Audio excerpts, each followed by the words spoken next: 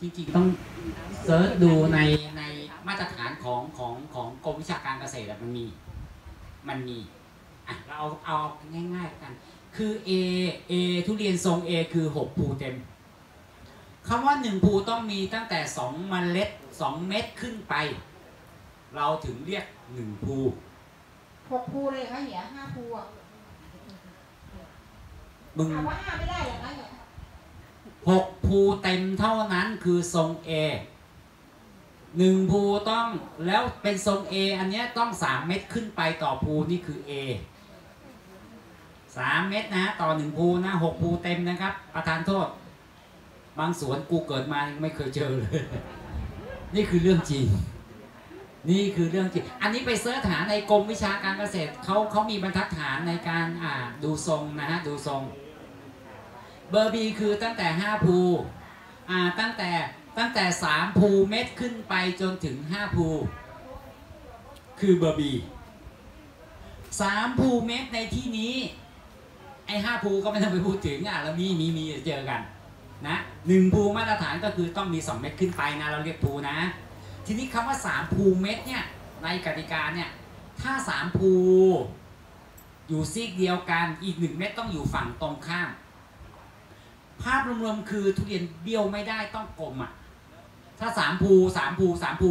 ภูที่สี่ไอ้เม็ดที่เม็ดที่สามภูอีกหนึ่งเม็ดไปอยู่ที่ภูที่สี่ตกไซส์เห็นไหมฮะมันต้องเป็น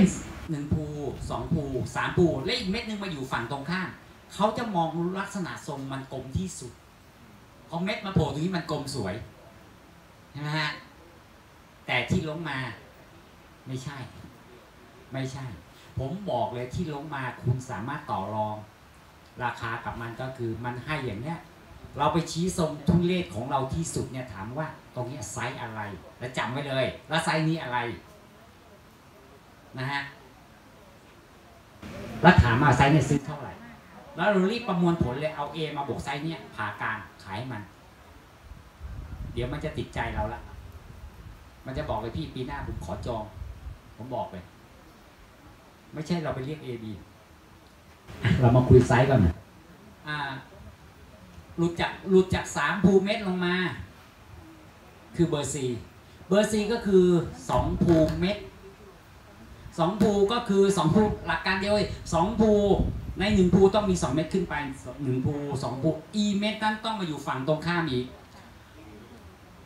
ถ้าอยู่ซีกเดียวกันไม่ได้ ลูกแป้วอยู่ซีกเดียวในภาพนะ เรากำลังจะปั้นทุเรียนขายกันนะตอนนี้ ทุเรียนไม่ได้เกิดเองตามธรรมชาติเห็นไหมฮะมันค่อนข้างจะยากหลุดจากนั้นก็คือตกไซส์ครับคำว่าตกไซส์อะเดี๋ยว A B C ที่กล่าวมาทั้งหมด ในการส่งออกคุณต้องอยู่ที่แต่ละล้งบางล้งก็ 1.8 น้ำหนัก 1.8 ถึง 6 กิโล บางล้งก็ 2 ถึง 5 กิโล ให้ดูราคาด้วย น้ำหนักเท่านี้ แล้วต้องทรงแบบนี้ พอตกไซส์ตกไซส์คือทุกทรงที่เหลืออยู่ แต่น้ำหนักก็ต้องตามที่เขากำหนดอีก เช่น เบอร์ D เบอร์ D คือลูกเล็กๆ กลมๆ ดอกมันอะแต่ต้องกลมบล็อกเลยกลมเหมือน AB อะนะ นั่นคือเบอร์ D ราคาจะ อัพขึ้นมาคำว่าตกไซส์ก็อยู่ในช่วงระหว่าง 1.8 ถึง 6 กิโลเช่นเดียวกัน แต่กติกาคือหนามต้องไม่โต ไม่เป็นโบกไม่เป็นเคเพราะนั้นถ้าทำทุเรียนลูกที่ไม่เต็มแล้วหนามโตๆภูใหญ่ ๆ ตกเป็นโบกเป็นเคหมด แต่ถ้าทำหนามหยีๆเขาเรียกว่าตกไซส์เออ ช้าๆงงโอเคดอก เข้าใจไหมคะเขาเขาไม่เข้าใจ งงภูไหนงงตรงไหน งงไหนถามนะงงตรงไหน อธิบา ยยังงงอยู่เลยน้องใหม่งงตรงไหนถามค่ะนี่คือมาตรฐานสากลนะ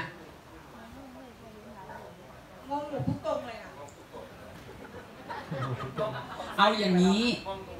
เมื่องงแล้วมันงงแล้วมันเรื่องมาก เพราะว่าสรีระมันเยอะ แนะนำให้ทุกท่านทำเบอร์หกภูเต็มให้หมด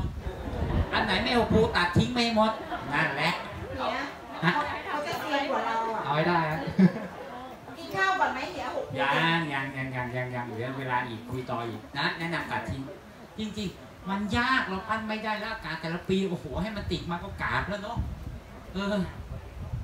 ติดมาแตกไปอ่อนร่วงอีกเนี่ยสิ่งแต่แต่แต่พวกเราต้องศึกษานะเพราะว่าล้งมันมาขึ้นมาเยอะๆเดี๋ยวมันจะมากดเราตรงนี้แหละกติกาการฟั่มหนามผมขอร้องนะฮะเหมาฟั่มอย่าเหมาระบบวงจรจะเสีย ถ้าคุณเหมาคุณต้องเหมาในเบอร์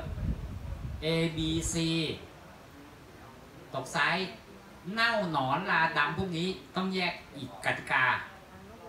อย่าเอามาเหมาฟั่มนะฮะระบบเสียนะฮะทุกลูกฟั่มหมดราคาเนี้ยไม่เอาขี้ใต้ทำกันเยอะ พยายามรณรงค์มาอยู่